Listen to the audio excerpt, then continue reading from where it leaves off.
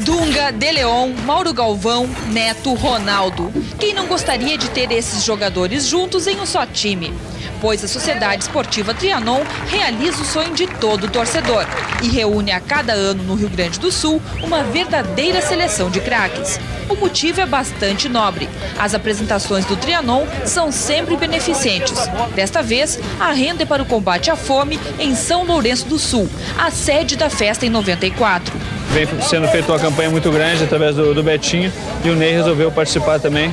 A gente está aí com muita satisfação e um prazer para nós poder ajudar alguém. As pessoas não podem passar fome em um Brasil tão grande como esse e não pode ter crianças passando fome, né? E acho que é importante é isso. Essa é a 28ª apresentação do Trianon.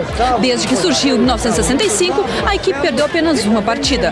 Mas o mais curioso é que esse time de craques em férias é treinado por alguém que trabalha bem longe dos gramados. É o cabeleireiro Ney Oliveira, o criador da equipe. De repente, até pela profissão, se proporcionou, porque eu, como cabeleireiro, comecei a cortar cabelo de jogadores e formou um círculo e daí surgiu o Trianon. Cada encontro do Trianon é a certeza de estádio lotado. E o Homero Ferreira não fugiu à regra. É uma satisfação a gente poder ver esse craque como Dunga, gente da seleção brasileira.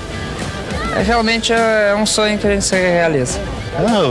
É a chance que cada torcedor tem de poder ver esses jogadores de outros estados, outros países, inclusive.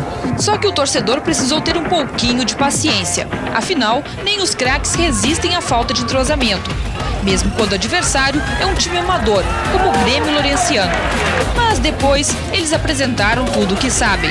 O centroavante Ronaldo do Cruzeiro mostrou por que foi a revelação do Campeonato Brasileiro.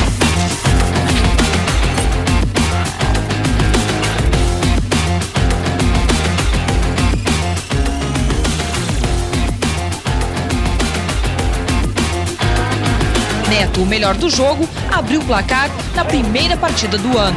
Depois, Paulo Roberto pegou o goleiro Alex de surpresa. 2 a 0. Ronaldo marcou o terceiro. O quarto gol nasceu dos pés de Neto e Maurício conferiu. No segundo tempo, Neto cobra a falta e a bola sobra para Assis fazer 5 a 0.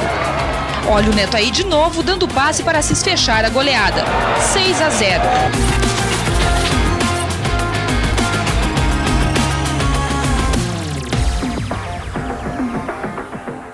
Placar, porém, é o que menos interessa para estes craques. O que vale é a festa, porque mesmo em férias, boleiro que é boleiro não pendura a chuteira e muito menos se afasta da bola.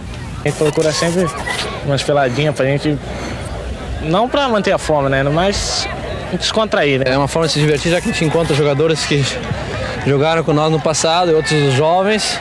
É um modo de se comunicar e cada um contar a sua experiência.